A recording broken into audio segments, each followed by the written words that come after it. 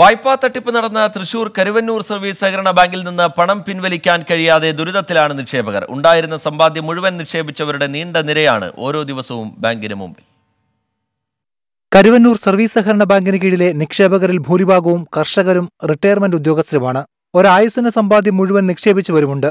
അത്യാവശ്യത്തിന് പോലും ബാങ്കിൽ നിന്നും പണം പിൻവലിക്കാൻ കഴിയാത്ത അവസ്ഥയിലാണ് അവർ ഞാൻ അഞ്ചു പ്രാവശ്യം ഇവിടെ വന്നിട്ട് അവർ തിങ്കളാഴ്ച വായോ ബുധനാഴ്ച വായോ വെള്ളിയാഴ്ച വായോ എന്ന് പറഞ്ഞിട്ട് മടക്കി വിടുക ഈ കഴിഞ്ഞ വെള്ളിയാഴ്ച വന്നപ്പോൾ പറഞ്ഞു ടോക്കനാ കൊടുക്കണ ടോക്കൺ കഴിഞ്ഞു എന്ന് പറഞ്ഞു.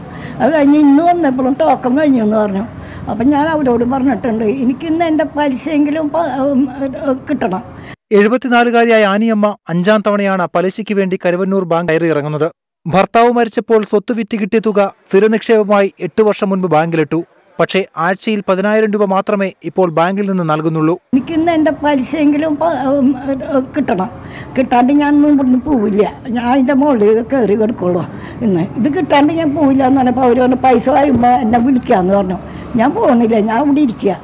തട്ടിപ്പ് പുറത്തായതോടെ നിക്ഷേപിച്ച തുക നഷ്ടമാകുമോ എന്ന ആശങ്കയിലാണ് ഇതുപോലെ നിരവധി നിക്ഷേപകർ. ട്വന്റി തൃശൂർ.